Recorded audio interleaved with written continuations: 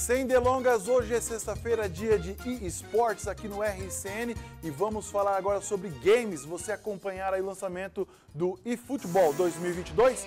Pois é, o jogo veio lançado, mas virou motivo de meme na internet porque teve uns errinhos básicos no visual do game. A Carol Beguelini separou os melhores, ou melhor, os piores bugs pra gente conferir agora tarde para você que está acompanhando o RCN Sports e boa tarde para você também, Israel.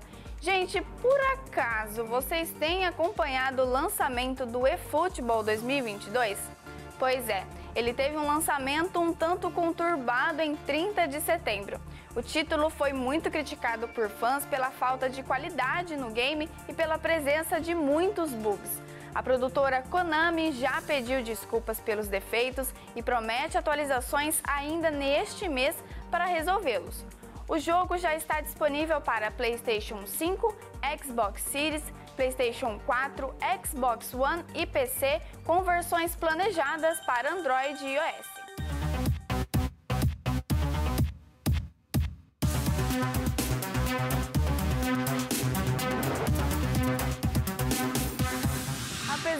Problemas apresentados, muitos desses bugs têm efeitos engraçados e hoje eu trouxe cada um deles para você rir aqui comigo.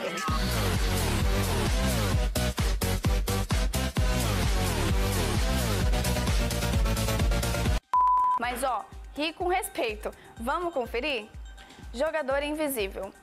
Um dos bugs mais curiosos é o de atletas que simplesmente desaparecem na tela seja em cenas não interativas, replays ou mesmo durante a gameplay, às vezes com suas roupas ainda visíveis. É um pouco mais difícil de perceber o erro durante as partidas, mas há casos de jogadores que capturaram atletas invisíveis em vídeo, cuja presença apenas pode ser confirmada pela condução da bola em um marcador que indica que há alguém selecionado. Ainda não se sabe muito bem o que causa o erro, e ele é o mais difícil de acontecer. Juiz no chão. Este bug foi um dos mais divulgados desde o lançamento do jogo.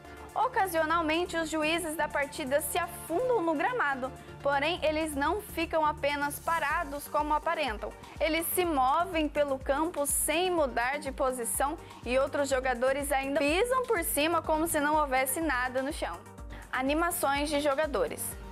O sistema Motion Matching, que prometia deixar as animações do eFootball 2022 mais naturais e realistas, parece ter apresentado dois grandes problemas muito frequentes no jogo.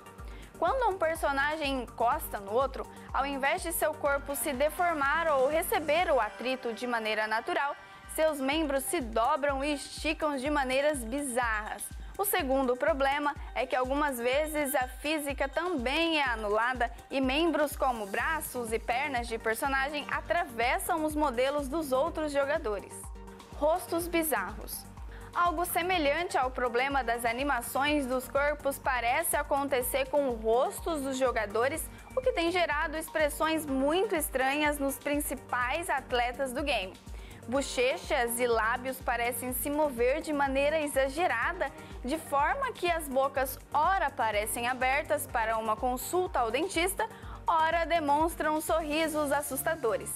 Bugs visuais abstratos. Há casos em que os bugs do eFootball alteram completamente o visual do jogo, como ao carregar apenas cores básicas no lugar das texturas dos atletas ou neste estranho efeito em preto e branco capturado na imagem que está aparecendo aí para vocês. O primeiro problema parece ser apenas uma questão de carregamento pontual, mas é difícil entender o que aconteceu para deixar o campo inteiro dividido em preto e branco. Atleta partido ao meio. Este problema parece ser uma evolução dos erros de física causados pela animação dos jogadores. Em alguns casos extremos, parece que o contato consegue separar completamente a parte superior da inferior de um atleta. Tecnicamente, eles estão sempre conectados, mesmo que não pareçam e geralmente a separação não é tão completa visualmente como nessa imagem. Jogadores presos no gol. Mas um bug que não é tão frequente, mas que também não se sabe a causa, é o de jogadores que correm em direção ao gol e ficam presos nele.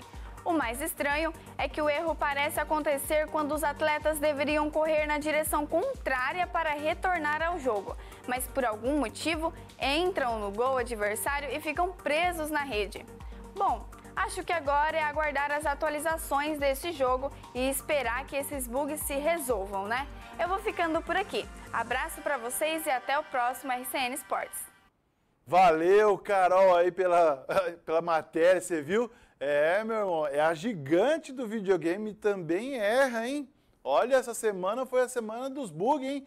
Facebook, Instagram e o, o WhatsApp caiu. Agora esse erro aí da Konami, que coisa, hein? Galera, chegou a minha hora. Ótimo final de semana. Segunda-feira a gente está de volta, inclusive na terça, que é feriado da padroeira do Brasil, Nossa Senhora Aparecida, e também Dia das Crianças. A gente vai preparar uma reportagem super especial também dos videogames, o eSports. Ótimo final de semana e até segunda. Tchau!